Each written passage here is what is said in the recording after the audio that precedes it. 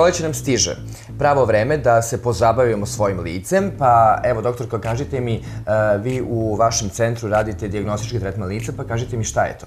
Diagnostički tretman je prvi tretman pre bilo kog tretmana lica.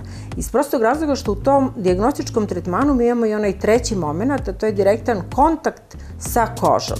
Taj diagnostički tretman e, sadrži u stvari jedan higijensko-stimulativni tretman u sebi.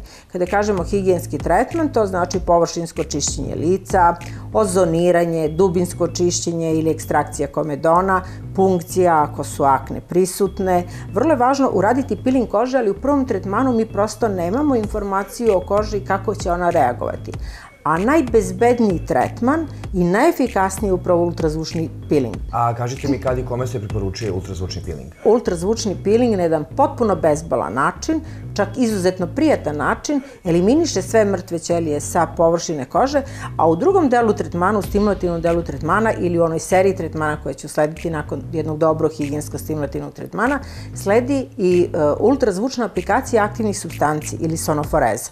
Na taj način mi ubacujemo aktivne substance u dublje slojeve kože, vršimo zatvaranje kože specijalnom špatulom, tako da efekti tog ultrazvučnog pilinga i sonoforeze daju zaista senzacionalne rezultate već posle samo par tretmana. Međutim, pored salonske ili ordinacijske terapije, vrlo je bitna i kućna terapija, a to znači da ne treba uzimati kremu koja prija vašoj sestri, drugarici, komšinici i tako dalje, već se pridržavati propisanih preparata koje vam je stručnjak predložio kao jednu produženu negu između tretmana.